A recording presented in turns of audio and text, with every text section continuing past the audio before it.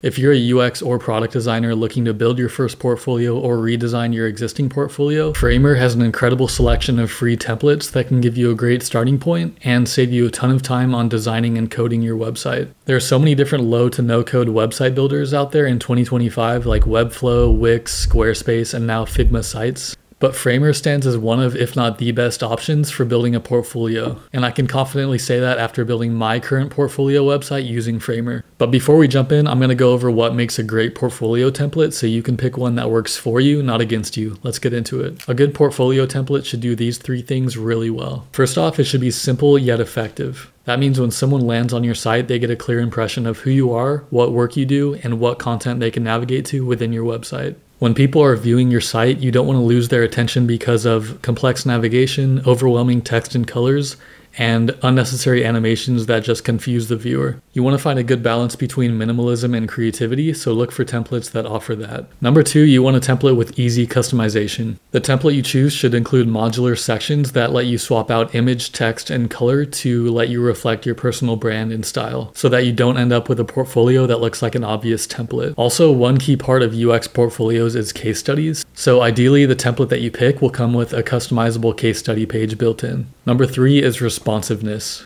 Any website, including portfolios, should be able to adapt to both desktop and mobile screen sizes. So it goes without saying that the Framer template that you choose should be responsive and mobile friendly. A couple bonus points to look out for when choosing a template is built-in animations and support for both light mode and dark mode. With that being said, let's dive into my three favorite Framer templates that you can use for your next UX portfolio for free. And you can find links to all three of them in the description. So this first one that I want to show you guys is Amberite. And just like the next two, this is a free portfolio template. And we can see here it has seven different page layouts included. If I scroll down, I can see a preview of a few of the different pages that come with this template. And if I scroll further down, I can see the features that are included with this template. Something I like about Framer templates is I can preview any of them in my browser as if it was a real website, and this gives me a good impression about whether this template would work for my needs or not. So when I imagine a clean and modern portfolio, this is pretty much what I imagine. starts off with a big header, then a subheader below that, and then your social links. So it gives you a strong impression of who you are right off the bat. And in all three templates that I'm going to show you today, the next section after the hero section is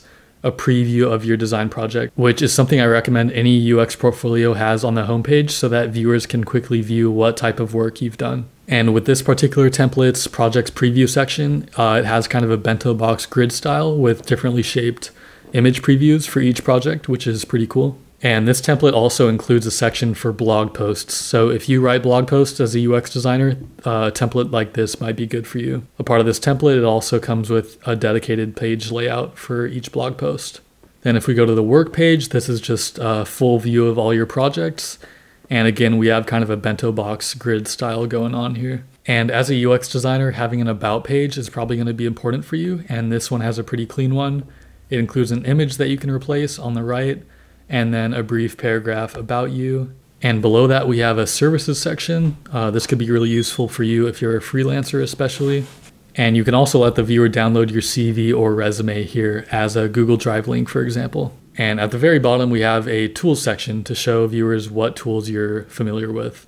Another thing about this template is it has kind of a smooth scrolling effect. I'm not sure if you can tell right now, but basically Framer is overriding the default scroll speed in the browser and replacing it with a custom one. And you may or may not like that. Uh, this is a customization that you can actually remove in Framer if you want to. The next template I want to show you guys is called Kuro. So this template's homepage is again really clean, slightly less minimal than the last one we looked at, but still obviously pretty minimal and simplistic, which is something that I typically go for when it comes to web design. We have this available for work badge at the top, which is a cool little feature if you're a freelancer especially. Then a preview of your projects. And next we have this carousel that shows reviews from people that you've worked for.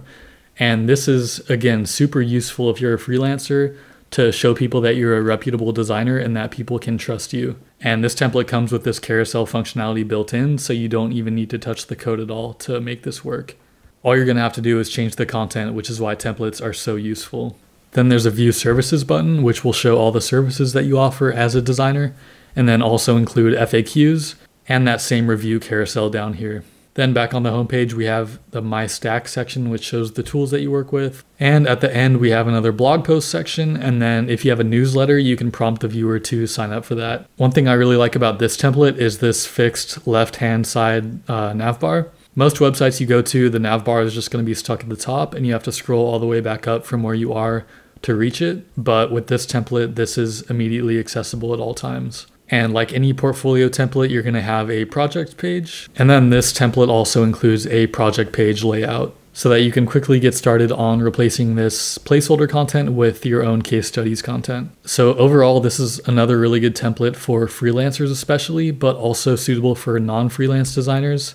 Uh, and it's again totally customizable to suit your own needs. One thing that I looked for when I was looking for a Framer template personally was having support for both dark and light mode. And that's one way you can test it by going to your system's preferences, changing it, and seeing if your Framer template automatically adapts to it. Now, the third template I want to show you is called Dusk, and this is actually the template that I used as a starting point for my current portfolio website. So you can tell from the preview here that it's pretty minimal. Uh, that's one reason it's such a good starting point, but it still includes enough page layouts to be really useful. So let's check out the preview here. So this homepage is definitely the most minimal out of the three. It just comes with a headline here and then a preview of our projects or case studies. And that's actually it for the homepage. Of course, you can add other sections that Framer offers, but in terms of what's native to this template alone, this is all you're gonna get for the homepage. Then we have a projects page and about page, which again is pretty minimal, but it offers some useful text layouts here and you can specify the different services you offer and a call to action at the bottom. One of the main things that drew me to this template was the contact page, and it just includes only the necessary information for a good contact page. So looking at my current portfolio website, you can see I took the template that we were just looking at and then adapted it quite a bit. So I changed the layout of the headline a bit, I added a subheader, I added a picture of me, uh, I changed the look of the project's preview section a bit, and since right now, at least, I want my website to be tailored to being viewed by recruiters and hiring managers, I added this little section at the bottom showing the tools that I'm familiar with and then a little description about me. And I included this learn more button where the user can click to navigate to my full about page. And like I said before, one thing you really want to make sure of when you're looking at a template that you might want to use is that it's completely responsive and all the content on the page adapts to work for both desktop and mobile screen sizes.